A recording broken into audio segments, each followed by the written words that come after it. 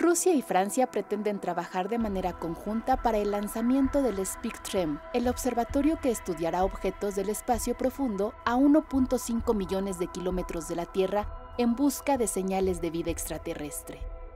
El observatorio permitirá el estudio de objetos espaciales en las bandas milimétricas del infrarrojo. Además recabará datos sobre la estructura global del universo así como la evolución de las galaxias y su núcleo sin dejar fuera datos de estrellas, planetas, objetos con fuertes gravitación y campos magnéticos, así como componentes orgánicos en el espacio. El lanzamiento se estima que sería con posterioridad a 2030, ya que este proyecto sufrió recortes financieros.